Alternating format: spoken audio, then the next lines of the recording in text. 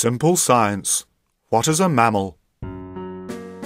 We belong to a diverse group of animals called mammals. But what is it we all have in common that other animals do not have?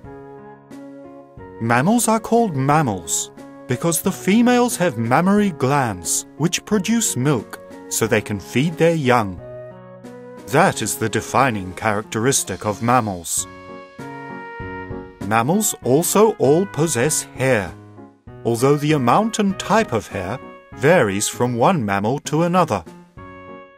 Even the babies of dolphins, which appear completely hairless, have a few whiskers to help them find their mothers by touch. Mammals vary quite a lot in terms of what they eat. Carnivores consume meat, herbivores eat plants, insectivores eat insects, and omnivores eat a little bit of everything. However, one thing they share is part of their eating apparatus. In mammals, the lower jaw is just a single bone with teeth set into it. Other animals may have several bones making up the lower jaw, but in mammals, these extra bones have developed a different purpose. They are used to transmit sound in the ear.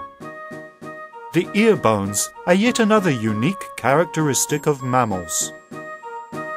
There are other characteristics that all mammals possess, such as being warm-blooded and having a backbone, but these are not unique to mammals.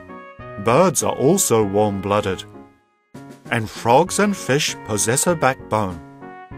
However, one thing these creatures cannot do is produce milk to feed their young.